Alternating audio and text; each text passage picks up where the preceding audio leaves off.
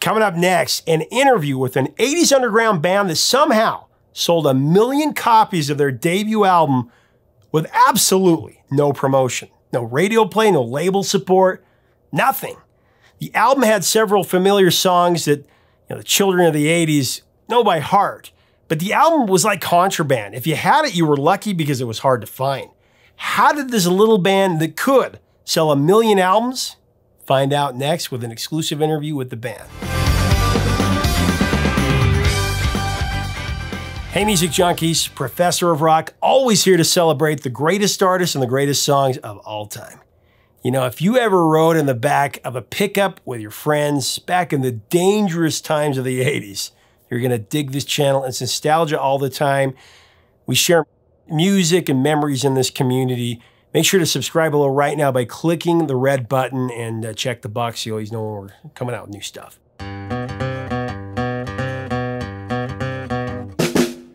Violent Femmes. First of all, one of the greatest band names ever. The Femmes were the foremost purveyors of folk punk, originating from Milwaukee, Wisconsin. Gordon Gano on guitar and lead vocals, and Brian Ritchie on bass, and backing vocals. They were the mainstays with, you know, other members going in and out of the band. Though the band has released many albums over the decades, it's their self-titled debut album that started the fire. With 80s classics like today's Focus Blister in the Sun, Kiss Off,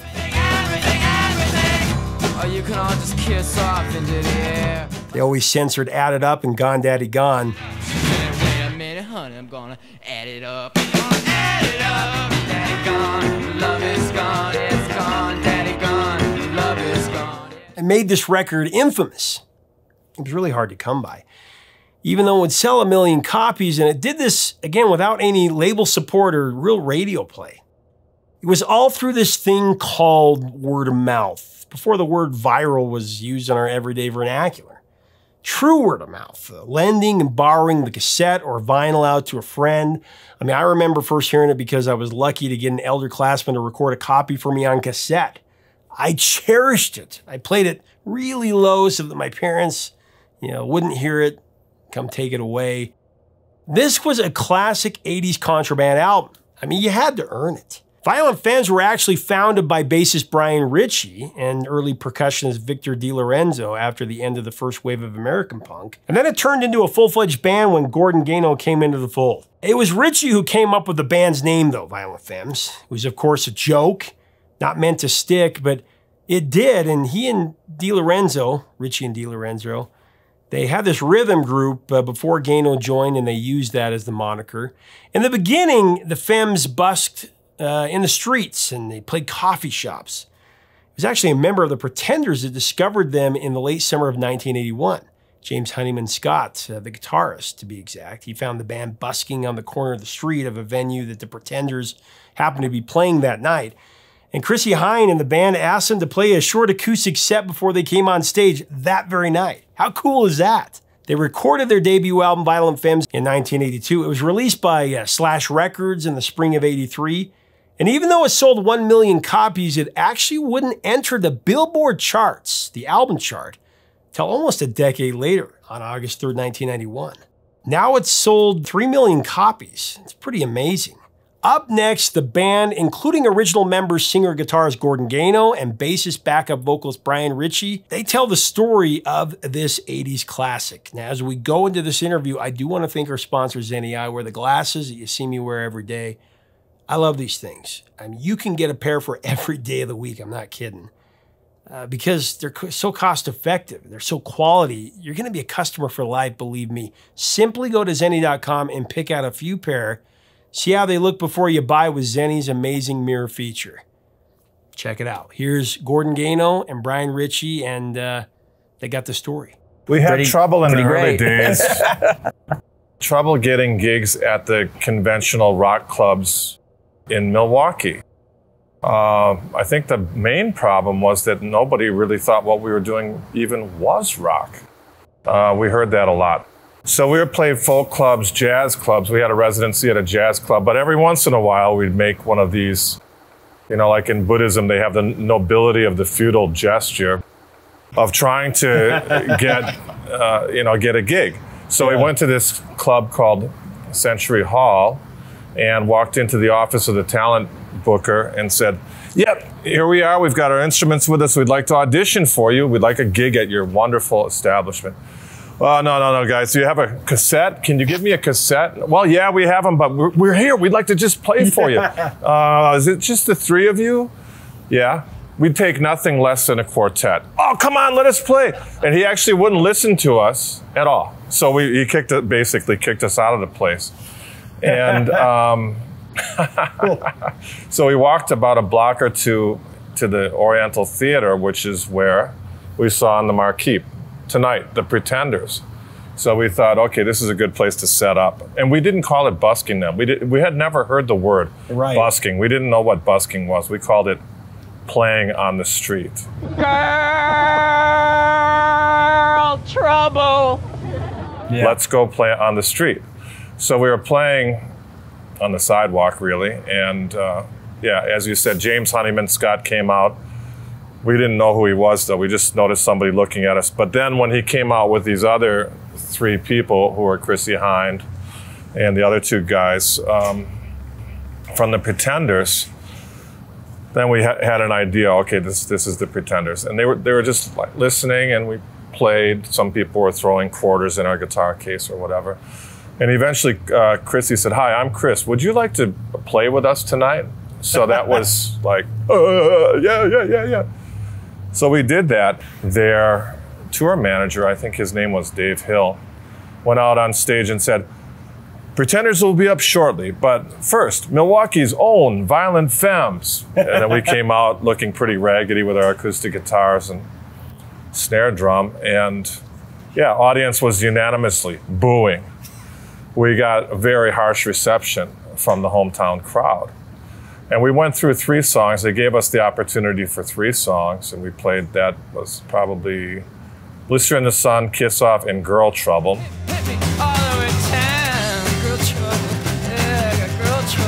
But by the end of the set, we had won over about half the crowd. So half of them were cheering and half were still booing.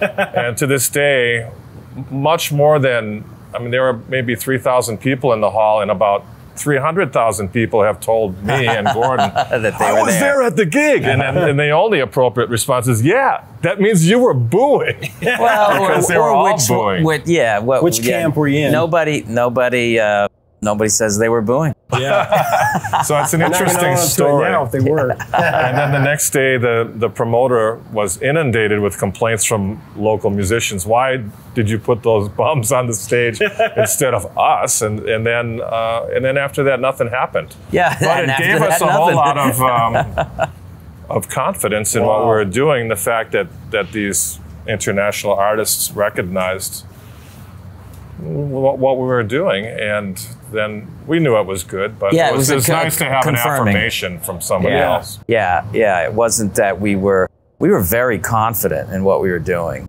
Absolute confidence that what we were doing was good. Uh, even if absolutely if there was nobody else that would agree with that. But then the pretenders did sometimes it's discussed in terms of or put put out as like a discovery. Right. But to me, a discovery means that then you were in the movie, right. or then you were like, you know, then your career just took it off. It is a discovery. But like when the Vikings of, you know, came to North America and then they looked at it and then they sailed off. Yeah. yeah. and everybody yeah. booed. Yeah, yeah that's right. It makes for a great story later on. Exa- you know? That's exactly what happened. Thankfully, I'd run into somebody who uh, exchanged numbers with at some kind of poetry thing, and uh, she gave me a call and said that she was forming a band. She was gonna shave her head, and it was gonna be like the Plasmatics or something. and uh, so I can come by and I guess uh, audition for the band or something. And then I thought, well, why don't I write a song? Uh, you know, to show up with a song ambitious. And I wrote Blister in the Sun. and I guess I was gonna, you know, hand it off to her just as she, you know, with the. I was gonna, and uh, something happened. I don't know if she called or I went somewhere and no one was there, or I never even, or I never went. I don't know what. I never saw her again. Uh, never heard from her ever again, as I can recall. And then I thought, oh, I've got this. This I really like this song but that was like the focus, and that that's just amazing to me. That it was like I'm going to write this song because I'm going somewhere tomorrow, and it'd be nice to show up with a fresh song to volunteer to like Yeah. have, be like I got a song too if you want to do it. That's interesting. I hadn't thought of that in a long time, and now I know there's a there's a Violent Femmes cover band that that I get to sit in and play with a lot, uh, and I play violin in the in the group and just do anything I want.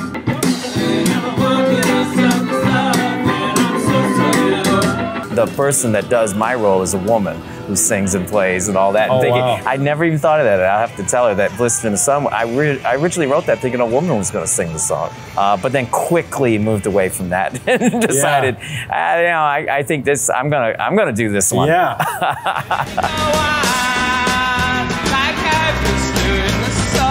I mean, with that song, it's got a classic part where you start whispering. It's almost like you're lulling the audience to sleep. And then boom.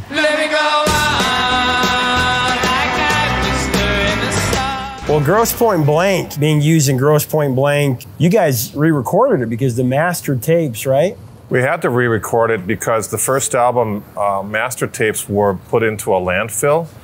The recording studio went out of business, and then they took out an, an advertisement in like the local newspaper saying, anybody who has tapes at, at such and such a recording studio, please retrieve them by this date, or they'll be whatever. And we, we found out later that they, that they just took all these two-inch master tapes of everybody, not only us, but everybody else who didn't see this newspaper ad, and put them in a landfill.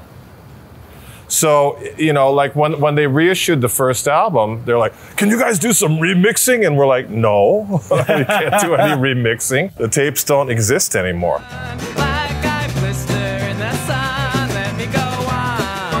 I know that John Cusack had a hand in hand picking those songs for Grosse Pointe Yeah, Blank. yeah, And, uh, yeah. so he, said, he, he's a came- he said hi to us and said how much of a fan he was. And yeah, as I recall, some of the the business side of that really came down to he really insisted on on having that. And part of the thing that's making you so miserable is the angst over killing a lot of people.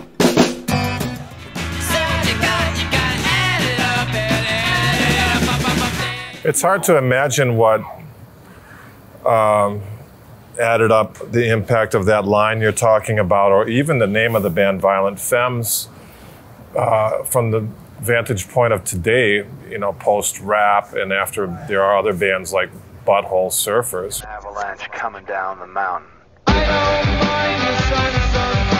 At that time, that song in particular, and also the name of the band, was, was quite provocative and, and probably um, held us back in some commercial regards. You know, like we wouldn't get offered gigs or, or because of simply because of the name of the band. But in the long term, you got to think it worked in our favor.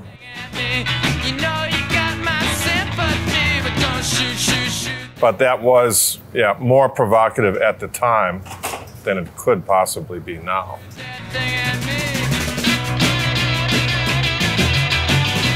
I think one thing about that song that comes to my mind because you've been asking some questions about, you know, of the origins of beginnings of thought, and I think that one was inspired, at least uh, whole sections of it, by um, Blondie's Rapture and the and the rapping. Lincoln's too, Mercury's and Subaru, and you don't stop.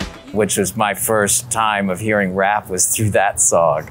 and uh, I think my, my kind of chanting the words at a certain point, I really think was probably had some, some uh, inspiration and influence there. And then, Did you tell her that when we d- did those gigs with her last year? no, no, I didn't.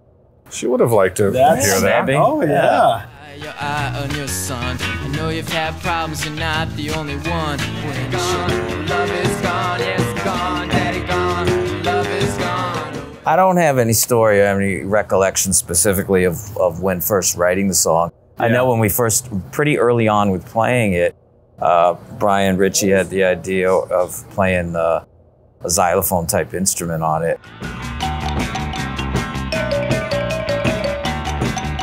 And That then we- happened when um, we used to do this thing which you called busking, but we called it playing on the street.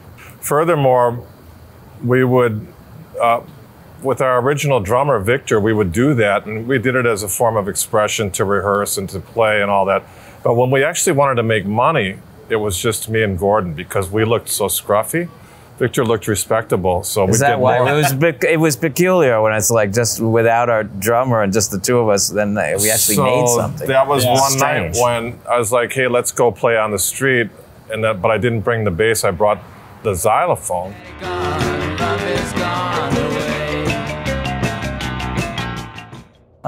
And I said, Yeah, I don't really know how to play this thing very well. Do you have anything that's either in C major or D minor? And then Really, Gordon, I totally forgot that. Gordon had, I like- had something. Daddy's gone, daddy gone.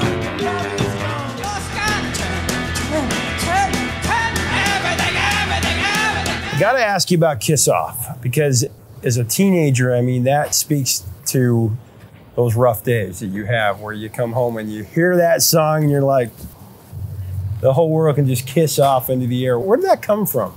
Probably like you described. Yeah, there's uh, frustrating times and being in school and not wanting to be there and and putting that kind of energy into like you would have it for listening to the song and then learning it and playing it yourself like so many people do. It's like, Yeah. well, I was writing it probably with that same kind of I felt energy. the same way, but I, I manifested it by throwing spitballs at people. Yeah. Oh, yeah. so, you know, you use your time a little more wisely. Yeah, I really am. I'm really glad that I decided I'm just gonna you know, close the door and stay in my room and write these songs. Wow, what a good decision that was. Do it all the time. They do it all the time.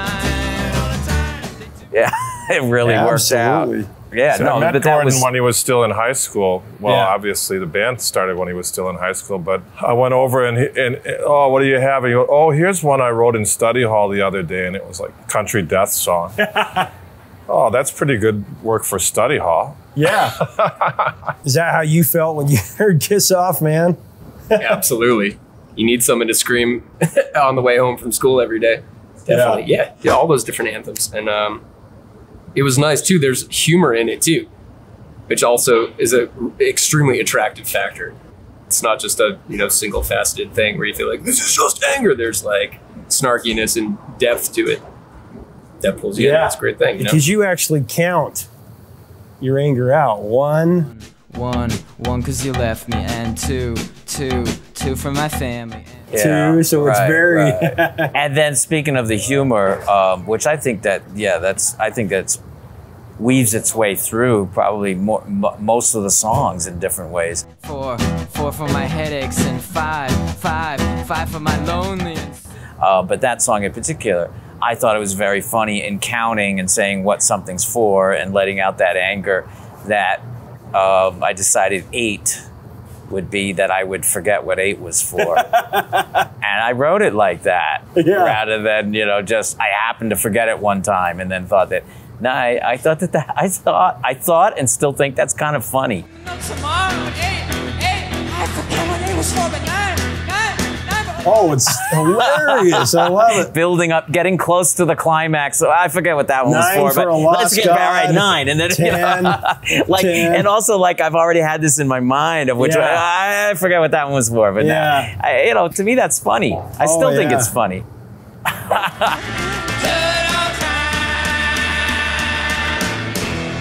Make sure to leave us a comment about this amazing band. They are so great. What are your memories of Violent Femmes? Did you have their debut album?